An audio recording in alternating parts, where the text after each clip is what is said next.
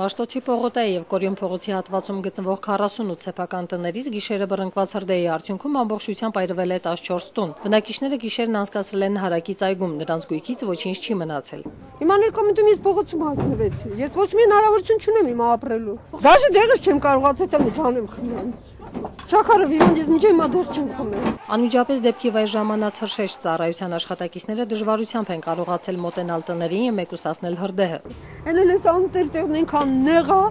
մի մեքենան մինչև դատարկավ, այն մյուսը չէր կարող մոտիկանալ։ Մինչև բաները շլանգներ իրար միացնելով Արդեն բաժարը գնաց հասավ քանի տուն։ Բնակիչները դժգոհում էին, որ իրենց տները մեկդարյա պատմություն ունեն, սակայն նրանց թույլ չեն տվել դրանք վերանորոգել, պատճառաբանելով, որ իրացման գոտի է։ Արդյունքում չեն պահպանվել անվտանգության կանոնները, իսկ հարակից ուսումնարանի նորակառույց շենքը խոչընդոտներ էր առաջացրել հրշեջների համար։ Ամեն կերպ պայքարեցինք, մեզ չլսեցին, շենքը կառուցեցին։ Ասում ենք նեղա, չեն կարա մեքենաներ մոտիկանան, բաժար լինի, ոչ մի մեքենա չի կարա մոտիկանա։ Երևանի քաղաքապետ Գագիկ Բեգլարյանն ու մայրաքաղաքի ոստիկանապետ Ներսես Նազարյանը եղել են դեպքի վայրում եւ հրդեհի ստուժածներին խոստացել, որ ամեն ինչ լավ է լինելու։ Մինչդեռ անտուն մնացած մարդիկ նրանցից ակնկալում են փոխհատուցում կամ բնակարան։ Նարինե Իրիցյան, Հովսեփ Հովսեփյան, IPF